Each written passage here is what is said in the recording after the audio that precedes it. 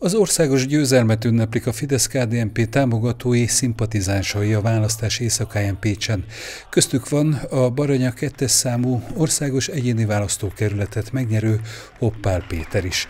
A régi új képviselő azt mondja, az ukrán háborúról, az orosz gáz és olajszállítmányokról elhangzó vélemények még az utolsó napokban is hatással voltak a választókra. Még polarizálta itt Pécsett és Komlón is a választói szándékot és akaratot, és nagyon sok bizonytalan szavazó átpártolt hozzánk, és végül engem támogatott.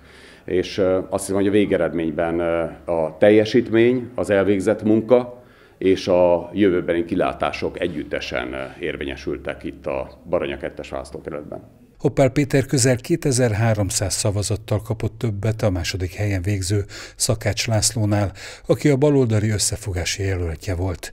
Baranya egyes számú országos egyéni választókerületében szoros eredményt hozott április 3-a.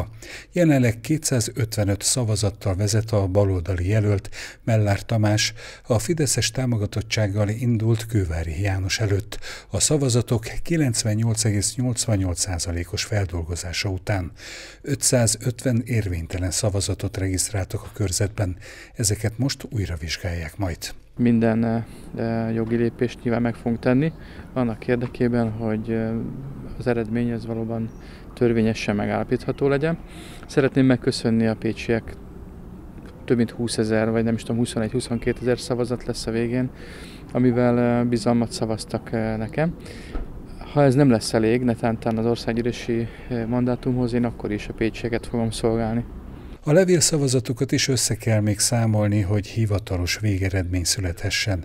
Ezt szombatra ígérik a választási irodánál. Kővári János azt mondja, ezután tehetnek olyan jogi lépéseket, ami végül majd dönt a parlamenti mandátum megszerzéséről.